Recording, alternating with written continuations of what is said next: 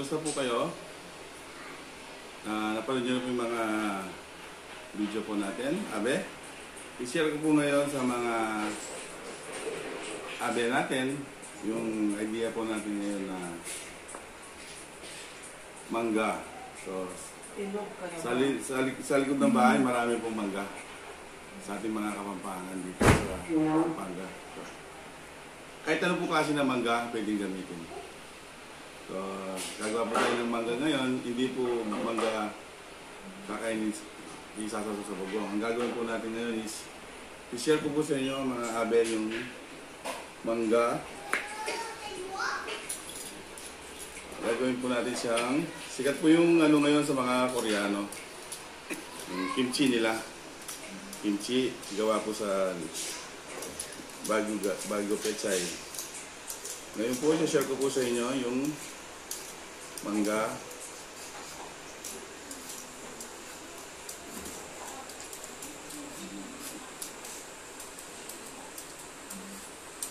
Balatin ko ng malipis yung mangga sa peeler.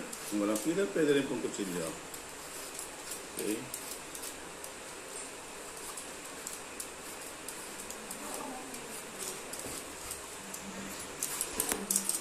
Ito na po na balat. Iiwain ko ng manipis yung mangga. Ayan. Pwede rin po sa peeler. Mas manipis siya. Mas, mag, mas, mas maganda pong tignan. Or pwede rin po siyang iwain ng malalaki.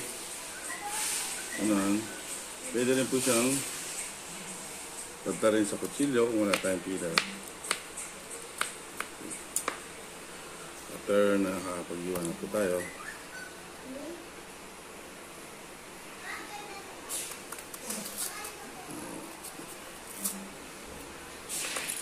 Peeler po natin siya. Hanggang sa, sa buto, pwede pong kunin yung hanggang sa ubus natin yung laman ng mangga. Okay? Ang gagawin po natin ngayon,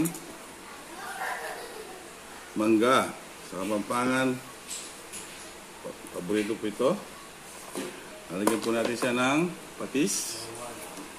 Kutsara niyan. Patis. At konting suka. Ito po yung magiging preservatives natin, yung suka. Hindi po siya masisira.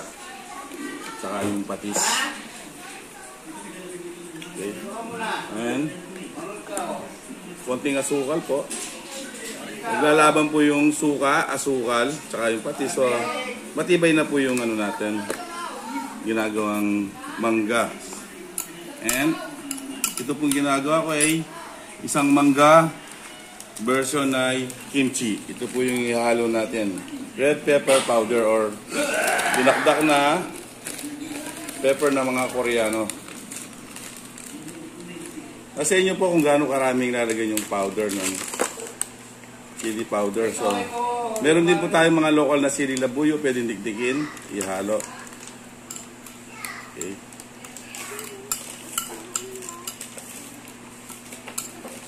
Ayan. Pagkahalo-halo na po, ilalagay po sa tray. Ilalagay sa tray.